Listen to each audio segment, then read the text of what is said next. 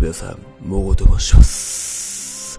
え先日ですね、ようやく私、グランドマスターになりました。で、あの、 RAGE、大型大会 RAGE がまた、えっと今回の行われたことで、あのー僕もちろん応募していて、結果から言うと、あの、当選しておりました。え11月の東の方に出ます、予選で。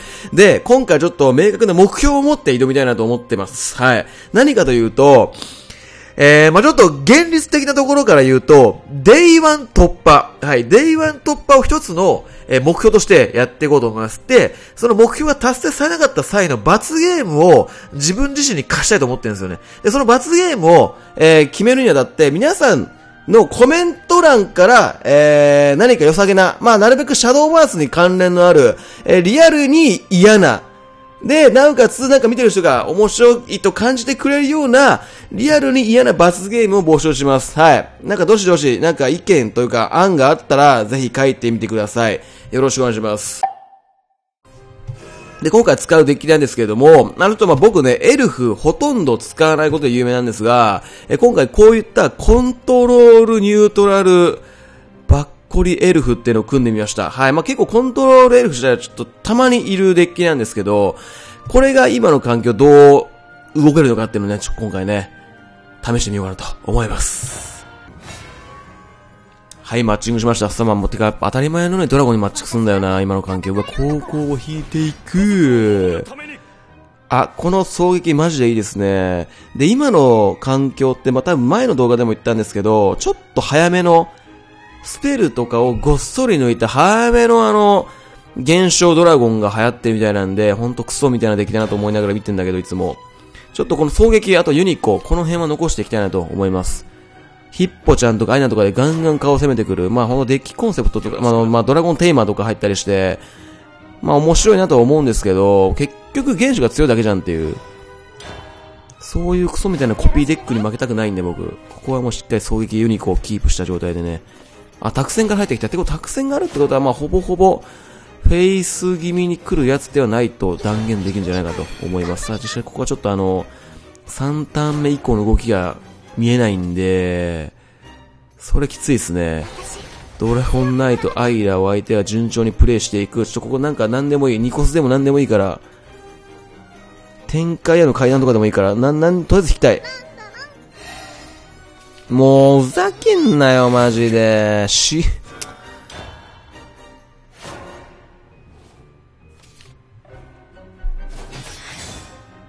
で、陶器？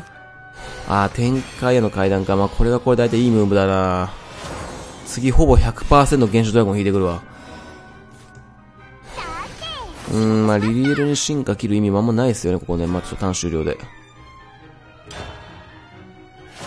しかもこれ、あ、ちょっと待って、リリエル出す。いや、いい、まあ、まあ、出すか。フィーナ、サハ、イスラ、ニュートラルカードは手札で3枚か。あ、でも、と、と、たくさんから来たか。現象まだ来ない。現象まだ来ないなとちょっと助かったな。本当相手動きが弱かったら、ちょっとフィーナちゃんから入ったりして、手札をがっつり回収してからのビューティービースト。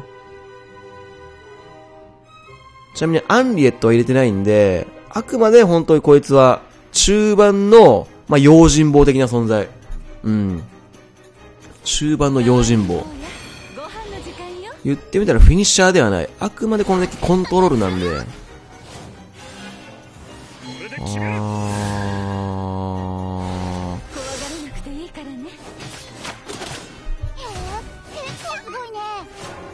うん、どうしようかな。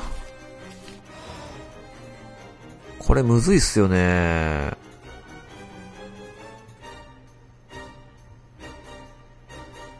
まあ、フィーナ進化31取ってミニゴムを出してみたいな感じか。全除去行くんだったら、まあ、エルフの狙撃。まあ、でもさすがに、まあ、泥道多分、あの、このカマゾウで取ってくると思うんで、フィーナちゃんを。まあ、ここはフィーナでの1、2交換ができればいいんじゃないでしょうか。はい。これで次一応ビューティービーストは発信できる。うん。まあ、結構このデッキ俺気に入ってんだよな。なんかエルフとニュートラル要素がほんとちょうど程よく調和されていて、エリンちゃんとかね。うん、サハイスラもできるし、ビューティービーストもいるし、みたいな。で、ニコスを結構削ってる。最初ユニコさん、フェリア、リリエルさんだったんですけど、フェリアとリリエルを1枚ずつ削って、なる、ちょっと重めな感じの構築にしてます。はい。あー、でもここ現象もたやとったらどのみちきつら取ってきたか。水流しのみこ、現象来ねえな。展開への階段使っといて現象引けねえのか、お前は。これ巫女だけだったらかなりいいよ。熱い。もう、お前だから大川の隆起、うぜんだよ、マジで。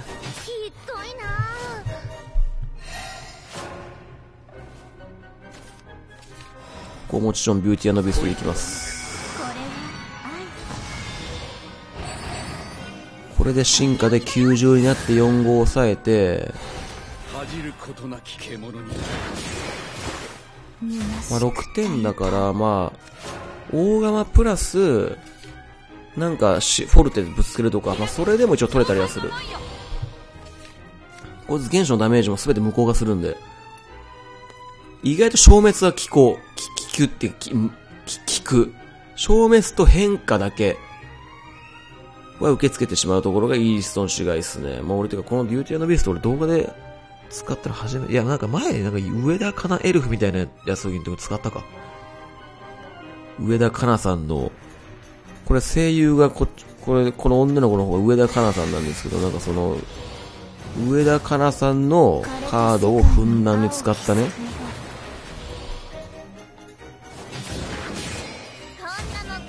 あー、なるほど。うん。まあでもこういう状態になれば、めちゃめちゃ有利っすよ。はい。もう手札、もう盤石でしょ、これ。クソ強えもん、手札が。ちなみに今、衝撃が1、2、3、4、5。ちょうど5点出せる。まあでも、サハ一切でいいんじゃないですか。相手反応もないし。サハクゲルもがっつり三積みしてるから、もう。思い切って使っていかないと。で、次クリスタリアエレンをエンハンスで使ったりとか。意外とこのデッキ現象に強い。まあ強いってことはないだろうけど、戦えるんじゃないのかなと。だ今試合も中盤で、もう覚醒だった段階で、もう、ジェネストラゴン動んだよ。これクリスタリアエリンで取りに行くか。で、進化圏も使えるんで、ここクリスタルエリンで3回復しつつ、うん。サハクイエルと合わせればちょうど取れるんで、はい。オッケー。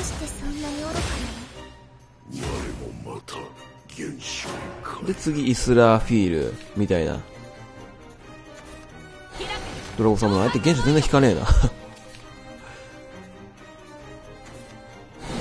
原初が引けない原初ドラゴンには勝てるってことか。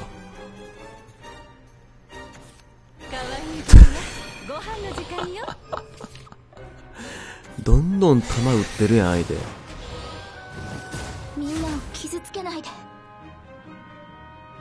どうしよう、この盤面。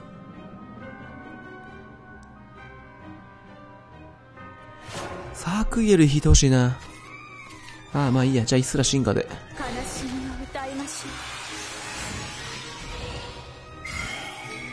このやっぱ4回復でかいよな。エリンで3回復、イスラです。4回復。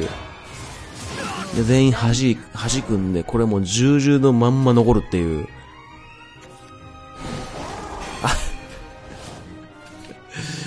原初引けねえな、相手マジで。大側の隆起。この時バハムートも一応2枚入ってます。なので、面子もできます。ウルフズ引きたいカード何も引けてんやん、相手。えー、っと、じゃあ、クリスタルエリン。で、EP を回復しながらの、ユニコ。いや、てかやっぱエリン強い、いいカードだと思うわ、こいつ。スタッツもいいし。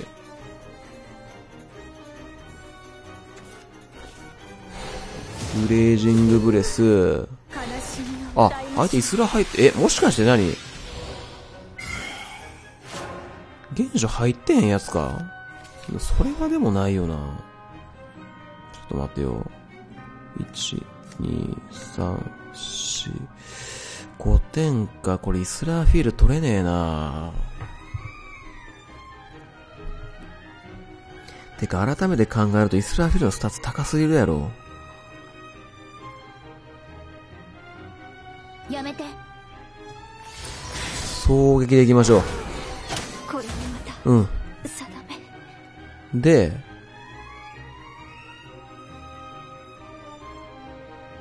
並べるか。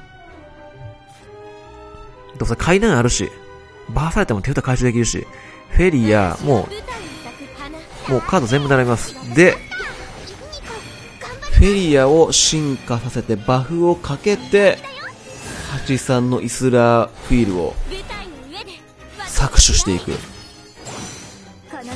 この展開はもう打っていいわ。うん。手札ねえもん。てか展開強すぎ。俺このカードね、強いと思うし、自分も使ってるけど、できれば消えてほしいんですよね。でもこのカードのせいでさ、なんか、ドローできることの価値ってすごい下がっちゃったじゃないですか、なんか。技術ウィッチとかってやっぱオズからドローできるっていう強みも一つのなんかその、デッキの、なんかメリットというか、なんか一つのなんか長所が消えてしまった感じがあって、ドローできるっていう。それがちょっと悲しいねんなはい、ここもちろんクリスタルやエリンをバシコリ出してって、まあ、進化系も切んなくていいかもったいないし、終了。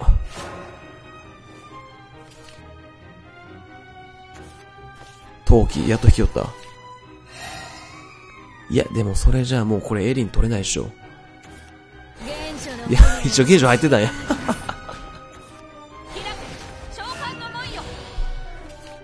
これ盤面全残りしますね。はい。盤面全残りするけど、これがこれででも、俺きついな。進化圏切ってちょっと思い切っていくか。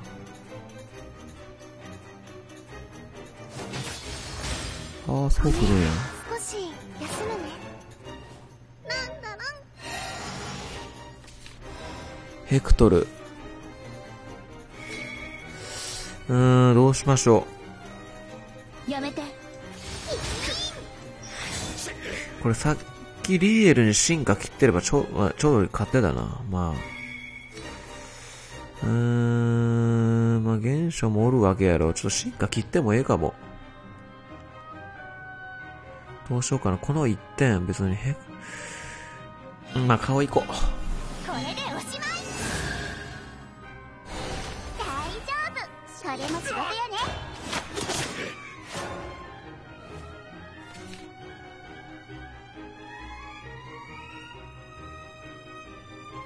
デッキにヘクトルまだ2枚あるんで、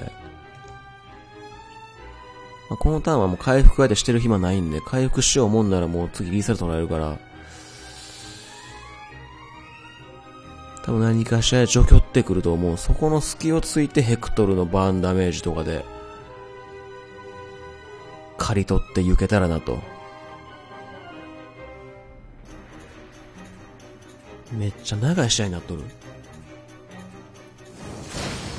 うわ、原初ぶつけてきたこいつ。みんなを傷つけないでほうほうほうほうほう。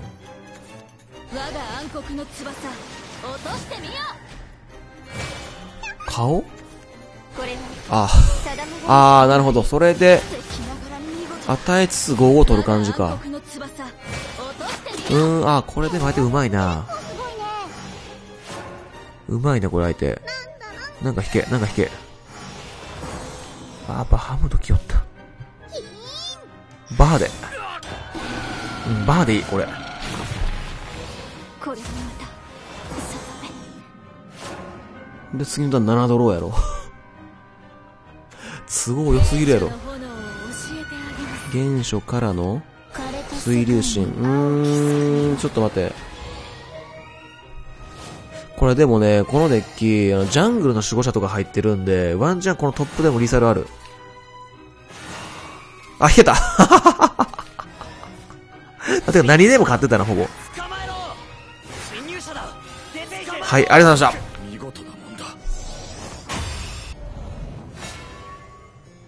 はい、マッチングしました。おっと、エルフ対決っすね、これ。ど、ちょっと待って。あ、やべ、階段起こしちゃった。あ、まあ、オッケーオッケー、引けた。あの、この敵ちょっと2コス削ってるから、なるべく、に、2ターン目は動きたいから、2コスを全力で引きに行くマリガンがいいかもしれへん。はい、ではよろしくお願いします。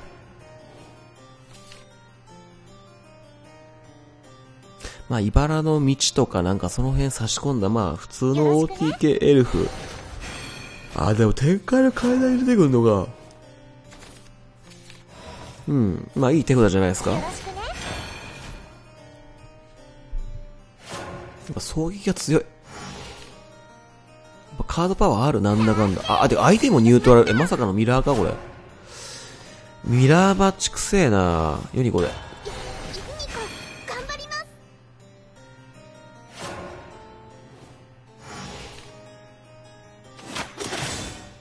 すなんかなんでもありやな。エルフにバーンと入るって意味わからんもんね。普通に考えて。エリンも引いていく。まあ次アルティメットキャラットからのフェアリーフェリア？が横並びしてきたら、エルフの増撃。あ、取ってきた。あー、動かないんだ、この段。どうしようかな、これでもし。まあでも進化しとくか、一応。ここ進化権切れば相手も多分進化切らなきゃ取れないと思うから。ヘクトルとかさ。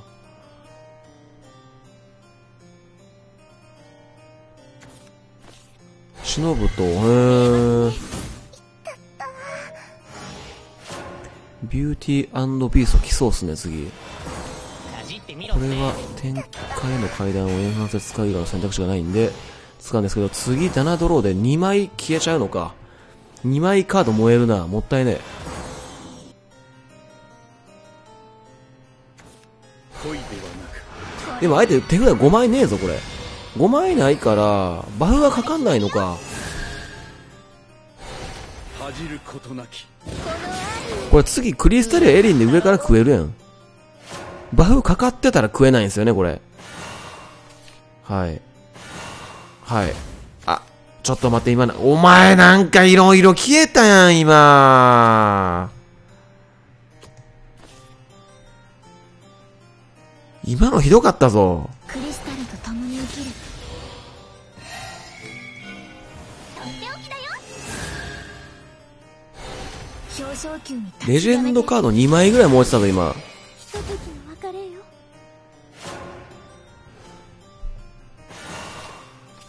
うーん、まあでも言うて弱くはないんだよな、手札。どうやら相手がビューティービーストに特化している場合は、多分もう、ここの6ターン目のビューティービースト突破された時点できついし、俺のデッキだいぶ重めに組んでるから、あ、心優しき木人出てきた。木人？展開への階段。どんだけそのカードプレイすんだよ、お前。なるほど。ここはもう衝撃で刈り取っちゃいますか。衝撃ヘクトル。うん。7点オールってやばいな。で、さらに、顔へ3点、フェ、エリンの6点で9点と。いや、だいぶ、場を圧倒してる、こっちのデッキが。よし、ありがとうございました。